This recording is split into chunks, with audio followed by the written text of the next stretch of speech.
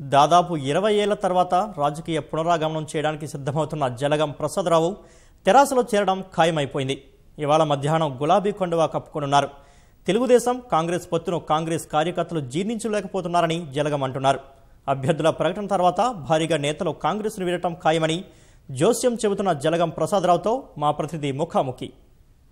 ఖమ్మం జిల్లా రాజకీయాల్ని శాసించి తనదైన ముద్ర వేసిన నాయకుడు జలగం ప్రసాదరావు. ప్రస్తుతం మరోసారి జలగం ప్రసాదరావు రాజకీయ పునరాగమనంపై చర్చలు జరుగుతున్న నేపథ్యంలో ప్రస్తుతం మనతో జలగం ప్రసాదరావు గారు ఉన్నారు. సార్ దాదాపు ఇరవై ఇరవై సంవత్సరాలు రాజకీయాలకు దూరంగా ఉన్నారు. మళ్ళీ ఇవాళ రాజకీయాల్లో పునరాగమనం చేయబోతున్నారు. ఎందుకు దూరంగా ఉండాల్సి వచ్చింది? ఇప్పుడు మళ్ళీ ఎందుకు పునరాగమనం చేయాల్సి వస్తుంది? పార్టీ కార్యక్రమాలు పార్టీ కార్యక్రమాలు సరిగ్గా లేవు కాబట్టి మొత్తం ప్ర ప్ర- ప్రజలను ఇబ్బంది పెట్టే విధంగా ఉంది కాబట్టి నేను దూరంగా ఉండడం వాస్తవం.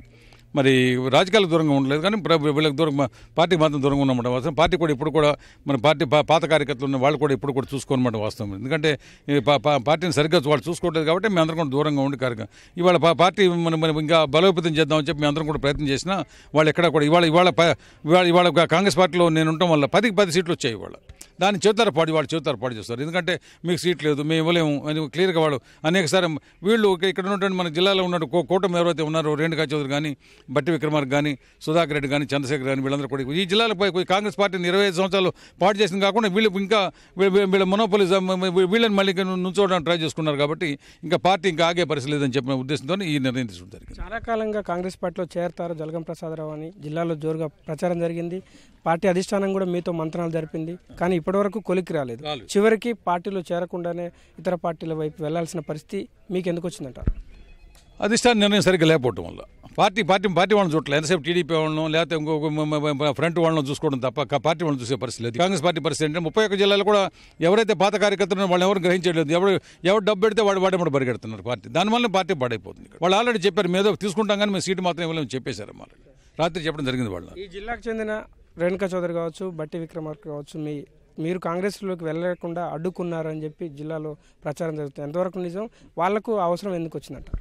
వాళ్ళకి అవసరం అంటే నేను వస్తే వాళ్ళ వరకు మనిషి కూడా ఉండడు. దానికి మెయిన్ మెయిన్ కారణం అంటే వాళ్ళ నేను నేను రావడం వల్ల ఒక వాళ్ళ ఒక మనిషి కూడా ఉండరు వాళ్ళు వాళ్ళ- వాళ్ళ ఇంట్లో వాళ్ళకు కూడా వాళ్ళు ఓటేరు నేను రావడం వల్ల. కాబట్టి అదే అదే ఇబ్బంది వాళ్ళకి. రేణుకా చౌదరి రేణుకా చౌదరి మీరు అన్నారు ఈ జిల్లా ఈ జిల్లా రేణుకా చౌదరి ఈ జిల్లా కాదు. ఇప్పుడు మా ఆంధ్ర రాష్ట్రానికి ఎలా అలాట్ చేశారామని అక్కడ పోయి చేసుకోండి ఆమె వల్లనే సగం పార్టీ ఇక్కడ నాశనం అయిపోయిన కారణం. తెరాసాను ఓడించేందుకు ఇతర పార్టీలను కలుపుకుంటున్న కాంగ్రెస్ పార్టీ ఈ జిల్లాను శాసించిన జలగం కుటుంబాన్ని ఎందుకు దూరం చేసుకుంటుంది అంటే? అది వాళ్ళ కర్మ అంతే. రేపు లిస్ట్ రేపు రేపు ఎనిమిది తర్వాత లిస్ట్ రాబోతుంది. లిస్ట్ చూస్తే ఇంకా మీరు ఆశ్చర్యపోతారు. ఎంతమంది బయటకు వెళ్ళిపోతారు ఆ రోజు మీకు కనపడుతుంది ఇంకా మీకు దశాబ్దాల కాలంగా కాంగ్రెస్ పార్టీతో అనుబంధం ఉన్న కుటుంబం మీది. ఇవాళ తెలుగుదేశం పార్టీ కాంగ్రెస్ పార్టీ కూటమి పేరుతో పోటీ చేయడాన్ని మీరు వ్యక్తిగతంగా ఎట్లా చూస్తారు? ఇది- ఇది చాలా తప్పు. అసలు ఇక్కడ ఈ- మొత్తం ఆంధ్ర రాష్ట్రంలో ఇవాళ తెలంగాణ సపరేట్ అయింది కానీ ఆంధ్ర రాష్ట్రం మొత్తం కూడా విడి విడిపోవడం కారణం కూడా వీళ్ళిద్దరే అసలు. ఇవి కాంగ్రెస్ పార్టీను టీడీపీ పార్టీ. వీళ్ళు రెండు విడిపోయి ఇవాళ రెండు మన కలుస్తున్నాయంటే రాహుల్ గాంధీ రాజు స్టేట్మెంట్ ఇచ్చాడు.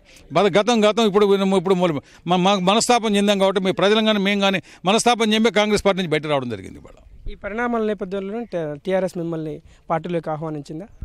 ఈ ప- ఈ పరిణామ ఈ పరిణామాల దృష్టి ద- దాన్ని కూడా వాళ్ళు కూడా తెలుసుకున్నారు. ఈ ఈ కార్యకర్త మన ఈ కార్యకర్త అయితే మనకు ఎక్కువ మన జిల్లాని మనకు ఉపయోగపడతారని చెప్పి ఆలోచన వాళ్ళకు ఉన్నమాట.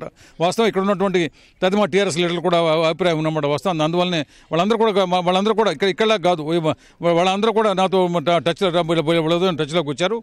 వాళ్ళు కూడా మీరు వస్తే మేము అందరం కూడా తప్పకుండా మేము మేమందరం బయటపడతాం ఆలోచన వాళ్ళకు ఉంది. ఈ జిల్లాలో పార్టీని కూడా బలోపేతం చేయాలి కాబట్టి దాన్ని తప్పకుండా చేస్తామని చెప్పి చెప్పడం జరిగింది. తర్వాత ఉమ్మడి ఖమ్మం జిల్లా వ్యాప్తంగా టీఆర్ఎస్ పరిస్థితి ఎట్లా ఉండబోతుంది అనుకుంటున్నారు? అది నేను చెప్పిన దానికన్నా ప్రజలు చెప్తే బాగుంటుంది మీకు. ప్రజలు ప్రజలు ఇప్పుడు చూశారు కదా ఇందాక స్పందన చూశారు కదా ప్రజలు ఎప్పుడు నాతో ఉంటారు. అది ఒక్కటి మాత్రం నేను ఎందుకంటే నేను నేను ప్రజలతో ఉంటాను.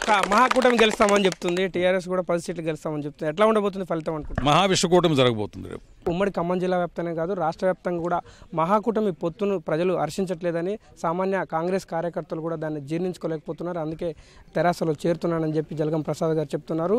కెమెరామెన్ పూర్ణచంద్తో లింగయ్య ఈటీవీ న్యూస్ ఖమ్మం.